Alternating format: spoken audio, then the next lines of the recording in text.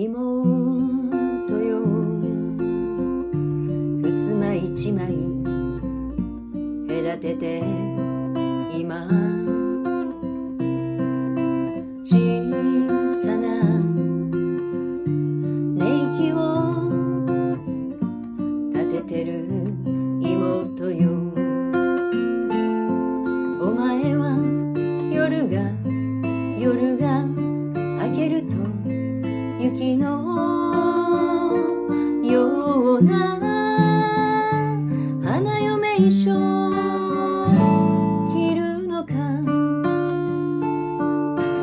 妹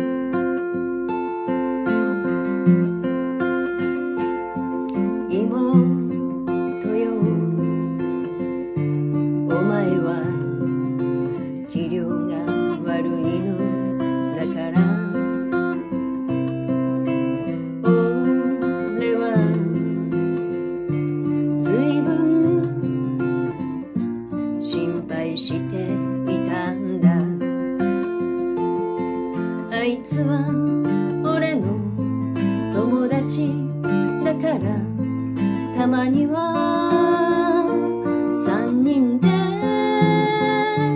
酒でも飲もうや。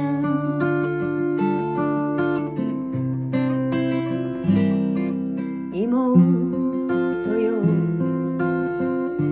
父が死に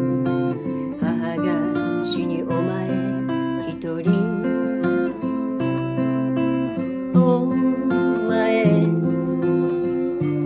だけが心の気がかり。明日お前が出てゆく前にあの味噌汁の